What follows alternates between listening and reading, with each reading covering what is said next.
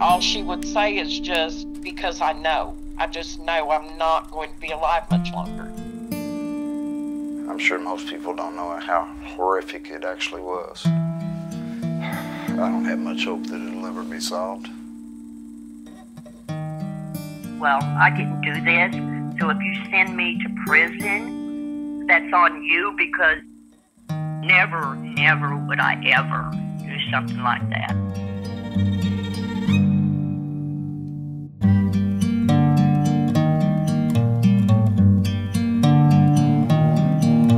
Early morning hours of July 5th, 1983, Deborah Manning's body was found on County Road 249 in Cape Girardeau County. Determined that it was a homicide and that she had been fatally stabbed.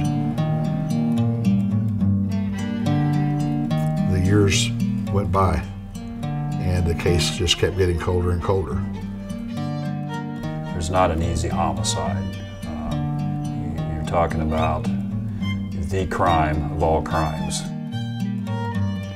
I don't know. I guess it's just a lot of false hope at times that they're getting closer to solving it and figuring out who done it.